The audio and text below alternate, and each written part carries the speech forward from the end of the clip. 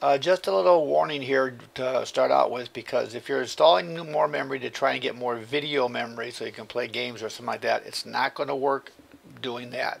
In fact, if you go to the Intel website, you'll find some interesting stuff. You know, here's how to check your memory. It'll tell you how to go out there and take a look on your system and see how much memory you have installed. So if you go down this page and everything, you'll learn a little bit more and more about it. And it has a bunch of different questions here. How's it allocated and all that. And you'll find out that unlike some of your other motherboards and everything that has a setting in the BIOS where you can change how much shared memory there is and everything, on Lenovo it does not. And according to Intel, it's uh, dependent upon your computer manufacturer. So can you increase? Well, right there, computer manufacturer says what you get and that's it. Uh, and again, on Lenovo, there's nothing in the BIOS to do that. So if you're going to buy this just for that, then I wouldn't advise it. In fact, if you click on the link at the bottom or you back up a page from where you're at to this Windows page and go back to the Windows 7 memory configuration, you'll find out a surprising additional fact. It's not listed here. Is that how much will it have? Well, and uh, if you look down there, the, one of the questions is, is will it increase it? And matter of fact, it decreases the amount of video memory available. So if you're doing this for a video upgrade to get more memory, it's not going to happen.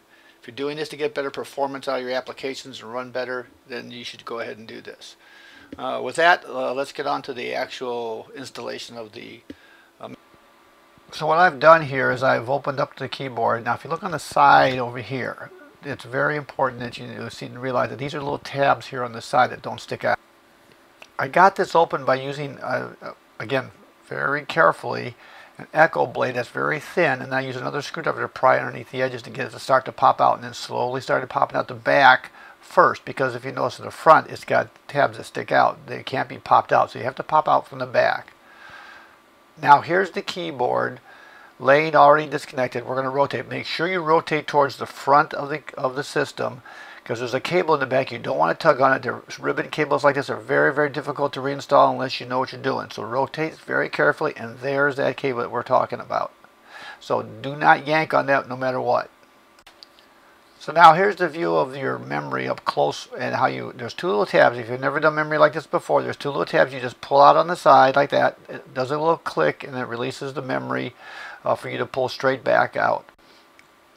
Now, if you've never done memory installation before, do not touch any of that, any of the pins and everything, especially static electricity is not your friend in this particular case. Uh, been doing it for years, never had a memory module burn out, but they warn you, warranty and all that. So just slide it in there, wiggle it back and forth, make sure you have the slot aligned, and you simply press down, it'll snap back into place, and there it is. It's uh, locked into place.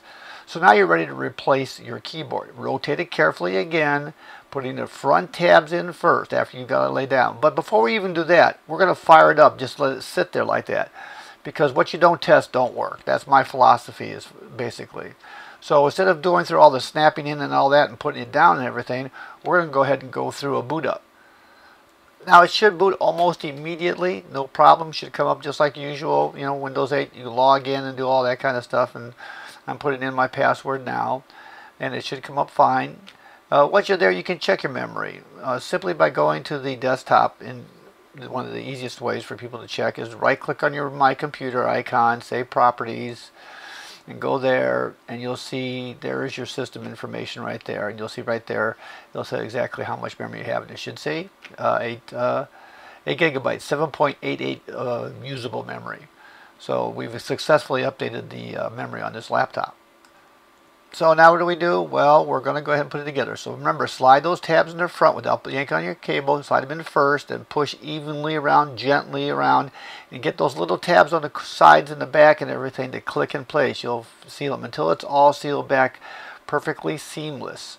Uh, you should have no problem whatsoever. A little bump in the back, we'll press it again until we get it all clicked in place. You can go around the edges and make sure that it uh, is seated fine.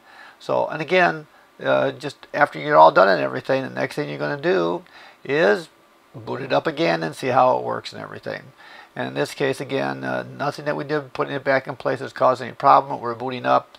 We're, we're good to go. So now we have the additional memory on our system and we're off and running, playing, doing whatever we need to do on our laptop.